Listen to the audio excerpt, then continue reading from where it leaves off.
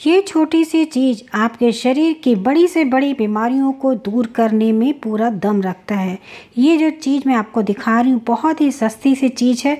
इसको खाने से आपके पेट में चाहे कितनी भी पुरानी कब्ज की समस्या हो, या फिर पाइल्स, बवासीर, फिशर, फेस्टुला जैसे पेशेंट हैं, या फिर आपकी लीवर फैटी हो चुकी है, या आपके गर्भाशय में सिस्ट की समस्या है, कैसी भी सिस्ट हो, आप देखेंगे इस इलाज को बताए गए अनुसार अगर आप करते हैं इस नुस्खे को जैसे बताया गया उस तरह से आप फॉलो करते हैं तो आप ये बीमारी घर बैठे ही दूर कर सकते हैं।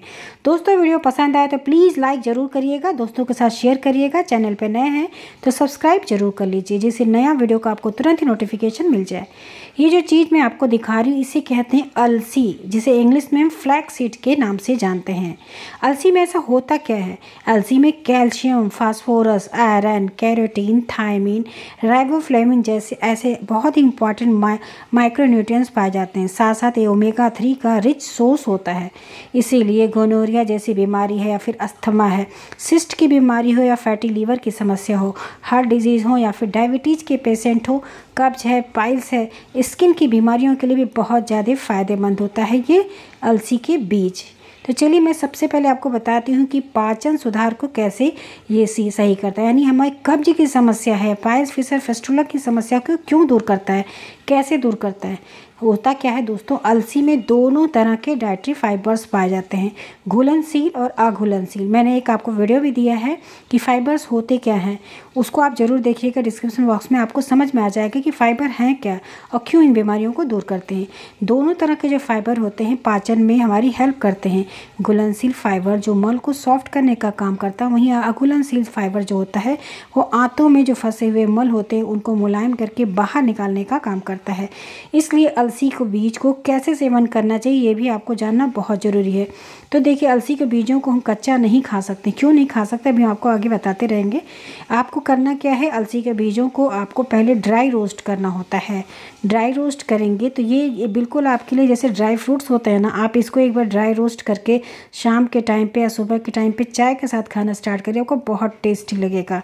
इसको ड्राई रोस्ट कर लीजिए हल्का सा। इसे बिल्कुल जलाना नहीं है। आज को आप लो टू मीडियम पे करके हल्के हाथों से चलाते रहिए। आप देखेंगे बिल्कुल चिटचिटाने की आवाज़ आने लगेगी। जब यह चिटचिटाने लगे तो आप आँच को बंद कर दीजिए। उसी टेम्परेचर पर इसे भून के तैयार कर लीजिए। अलसी जो होता है, सिस्ट को कैसे दूर करता है? अलसी जो होता है, अलसी में जो हमारे शरीर के अंदर एस्ट्रोजन और प्रोजेस्ट्रॉन का संतुलन ये बना के रखता है। अगर अलसी का हम सेवन करते हैं तो सिस्ट इसलिए दूर हो जाता है, अलसी के बीच में फाइबर अधिक मात्रा में पाए जाते हैं जिससे शरीर के अंदर जो भी नुकसानदायक टॉक्सिन्स होते हैं, उनको ये बाहर निकाल देता है और हमारे शरीर के अंदर जो सिस्ट बनने की प्रोसेस होती है, उसको बंद कर देता है और हमारी अगर सिस्ट बनी भी होती है तो उसको धीरे धीरे बिल्कुल ही डिज़ोल्व करके ख़त्म कर देता है। ये हमारी किडनी को, हमारे लीवर को भी ये डिटॉक्स करने का काम करता है, जिससे हमारी जो जो हमारी पाचन डाइजेस्ट हो जाएगी डाइजेशन जो है बूस्ट रहेगी तो हमारे सारे काम अच्छे से होंगे। यानी हमारे शरीर की जो भी ऑर्गन्स हैं, वो प्रॉपरली वर्क करेंगे, जिससे ये बीमारियाँ दूर हो जाती हैं। तो देखिए, आप देख रहे हैं चिटचिटाने की आवाज़ यहाँ पे आ रही है चिटचिटा रहा देखिए कैसे छटकने लगता है। तो इसी तरह से भून जाता है। इसे आपको बहुत जला अब इस स्टेज पे गैस को ऑफ़ कर दीजिए, क्योंकि जो कढ़ाई है, जो पैन लिया है आपने, वो इतना हीट है कि ये इसको अच्छे से भून देगा। तो गैस को ऑफ़ करके इसी तरह से चलाते हुए भून के पूरा तैयार कर लेते हैं। देखिए अब इसका कलर भी चेंज हो जाता है, जब ये चिटाने लगता है तो बहुत तेज़ी से ये आँच पे जब आप रखते हैं तो बहुत तेज़ी से लगता है। अब ये भून चुका है, इसको हमने चला दिया है। ये देखिए थोड़ा सा हमने इसको बचा के रखा है। आपको क्या करना है, ये अलसी के बीजों को एक साथ पीस के आपको स्टोर करके नहीं रखना चाहिए। अब तो बारिश का मौसम आ रहा है, इसे स्टोर करके इकट्ठा रखेंगे तो इससे मॉइस्चर आ जाता है और ये ख़राब हो जाता है। तो आप सिर्फ़ एक हफ़्ते के लिए बना के रखिए, यानी आधी कटोरी भून लीजिए, उसको पीस के इसका पाउडर बना के आपको रखना है। आपको इन सारी बीमारियों के लिए, शरीर की बीमारियों को दूर करना है तो आप अलसी का सेवन स्टार्ट कर दीजिए करना दोस्तों। बहुत फ़ायदेमंद है साथ साथ इसमें कुछ प्रिकॉशन होते हैं, उसको आपको लेना चाहिए, जिससे आपको पूरा लाभ मिले। अब देखिए, जब बीजों को अच्छे से ठंडा कर देते हैं, ठंडा करने के बाद ही आप इसको पीसिएगा। अब ये ठंडा हो चुका है, अब क्या करेंगे? मिक्सी के जार में आप इसको डालिए और इसका फाइन सा पाउडर बनाइए। बिल्कुल बारीक सा पाउडर बन जाता है, क्योंकि आपको उसको खाना होता है तो दरदरा नहीं पीसिएगा। आप इसे बारीक पीसेंगे तो आपको खाने में आसानी होगी। तो देखिए, इसको हम इस तरह से इसमें डाल दे रहे हैं। अब इसे पीस के हम आपको दिखाते हैं कि किस तरह से आपको इसका सेवन करना सेवन करने का तरीका आपको ध्यान से दे जानना है। अगर आप इस तरह से आप इसको सेवन करेंगे दोस्तों तो आप मानिए ये सारी बीमारियाँ जो हैं, आप अपने हाथ से ही घर बैठे ही ठीक कर सकते हैं बिना किसी दवा के। दवा अगर चलती है तो कोई बात नहीं, इसको लेने से आपको कोई भी साइड इफ़ेक्ट नहीं होंगे। इसके साथ, दवा के साथ साथ आप इस रेमेडी को, इस नुस्खे को कर सकते हैं। तो ये देखिए किस तरह से पाउडर बन के तैयार हो गया है। अब आप क्या करिए, इसको किसी भी एयरटाइट कंटेनर में रख लीजिए, जिससे इसमें मॉइस्चर वगैरह ना लगे।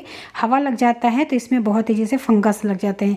तो आपको ये बात का ध्यान रखना है, किसी भी टाइट ढक्कन से बंद करके इसको रखिएगा। अब देखिए क्या होता है, जो अलसी का सेवन करने का जो तरीका हमने क्यों कहा कि इसको आपको कच्चा नहीं खाना चाहिए? कच्चा इसलिए नहीं खाना चाहिए क्योंकि अलसी के बीज को, के ऊपर जो ब्राउन कलर की भूरे रंग का एक कवर होता है। ये हमारी आंतें जो होती हैं, आसानी से उसको पचा नहीं पाती हैं। इस वजह से अलसी के बीजों को आपको कभी भी कच्चा नहीं खाना चाहिए। इसे आप भून के ड्राई रोस्ट करके इसका पाउडर बना के अगर आप खाते हैं तो इसके जो भी पोषक तत्व हैं, वो आपके शरीर आसानी से उसको एब्जॉर्ब करता है और अलसी के पूरे बेनिफिट्स आपको मिलते हैं।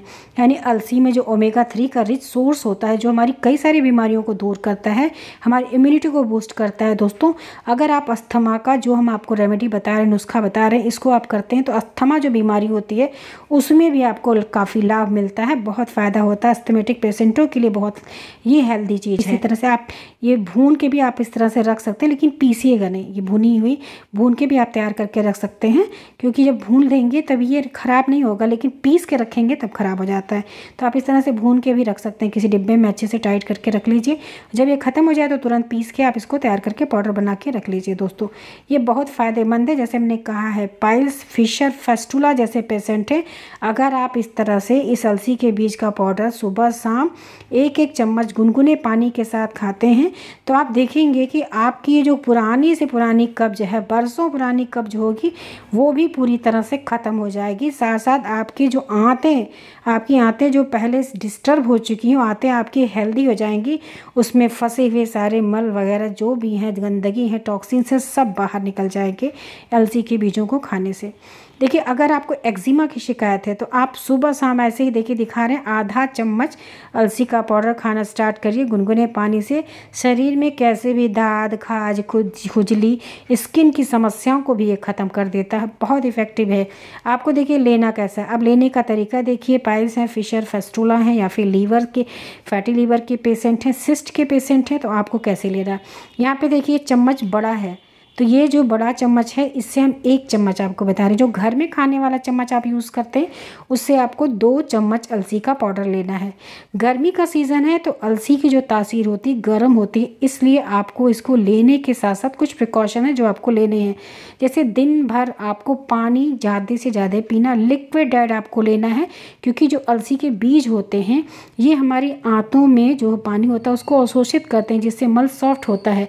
तो आप लिक्विड डाइट जब डालते रहेंगे पानी है, छाछ है, जूसेस हैं, डालते रहेंगे तो ये जो अलसी के बीज हैं वो अपना काम आसानी से करेगा। और आपके पेट के अंदर, आपके आंतों के अंदर, आपके लीवर में, आपके किडनी में जो भी टॉक्सिन्स हैं उनको आसानी से निकाल के बाहर फेंकेगा। तो आप इसको आप यूज़ करिए। साथ साथ ये जो बताया गया लिक्विड चीज़ आपको पेट में डालते रहना है, जिससे अपना वर्क प्रॉपरली करे। और आपको जो मात्रा बताई गई, इतनी मात्रा में लेंगे तो आपके इसके कोई भी साइड इफ़ेक्ट नहीं होंगे। ये नहीं आपको फ़ायदा करने लगा तो आप इसे ज़्यादा ज़्यादा खाइए। ज़्यादा नहीं खाना है। सुबह आपको दो चम्मच लेना, खाने वाले चम्मच जो घर में नॉर्मली यूज़ किया जाता है और शाम के टाइम सोते समय आप दो चम्मच लीजिएगा। यानी सुबह खाली पेट दो चम्मच गुनगुने पानी से और रात को सोते समय दो चम्मच गुनगुने पानी से आपको लेना है। दूसरा तरीका, अगर आप पाउडर नहीं खा पाते, कुछ लोग होते हैं पाउडर खाने में उन्हें बहुत परेशानी होती है तो आप एक गिलास गुनगुना पानी लीजिए, उसमें आप पाउडर को घोल दीजिए। घोल लेंगे, उसके बाद आप इसमें डालिए नींबू का रस। जो फैटी लीवर के पेशेंट हैं दोस्तों, आप इस तरह से बना के और सुबह शाम ये ड्रिंक बना के पीजिए स्टार्ट करिए। आप सात दिन के बाद अपना रिपोर्ट देखिएगा, आपको बहुत ज़्यादा फ़ायदा मिलेगा फैटी लीवर के पेशेंटों में। ये लीवर के ऊपर जो फैट जमा होते हैं, उनको ये पूरी तरह से साफ़ करने का काम करता है और लीवर को हेल्दी कर देता है। यहाँ तक कि जो सिस्ट के पेशेंट हैं, वो भी आप इस तरह से जो हमने बताया, नींबू के साथ, नींबू के रस के साथ, गुनगुने पानी में घोल के, चाहे कब्ज के पेशेंट हैं पाइल्स हैं फिशर फेस्टोला के पेशेंट हैं, या फिर आप फैटी लीवर के पेशेंट हैं सिस्ट के पेशेंट हैं, आप इसी तरह से ड्रिंक बना के लीजिए। जो अस्थमेटिक पेशेंट हैं, वो रात में इस तरह से घोल के रख दें, सुबह के टाइम पर से हल्का गुनगुना करके सुबह शाम पीजिए। दोनों टाइम पे भिगा के रख दिया करिए, इस तरह ढक के और सुबह शाम पीजिए। और जो पेशेंट हैं पाइल्स फिशर फेस्टुला के हैं फैटी लीवर के पेशेंट हैं, या फिर जैसे हमने बताया है कि सिस्ट के पेशेंट है, वो इस तरह से आप आधा नींबू का रस निचोड़िए और इस पानी को गुनगुने पानी में, इस पाउडर को घोलिए और इसे आप पी जाइए। ये ड्रिंक इतना बढ़िया आपके लिए हेल्दी है, अगर आप टेस्ट के लिए चाहते हैं तो इसमें काला नमक ही ऐड करिएगा। प्लेन नमक नहीं ऐड करेंगे। मीठा में लेना चाहते हैं तो मिश्री पाउडर ऐड करिए फिर एक चम्मच शहद डाल के आप ले लीजिए। यानी स्वाद के लिए आप ले सकते हैं। जो फैटी लीवर के पेशेंट होते हैं, उन्हें ना तो बहुत मीठा खाना चाहिए, ना नमक ज़्यादा खाना चाहिए। तो इस बात का आपको ध्यान देना है। इस तरह से आप इस रेमेडी को करिए दोस्तों। आपको हंड्रेड परसेंट आप अपनी बीमारी को खुद घर बैठे ठीक कर सकते हैं। ये बहुत इफ़ेक्टिव नुस्खा है। आजमाया हुआ नुस्खा है रामबाण नुस्खा मैं आपको बता रही हूँ।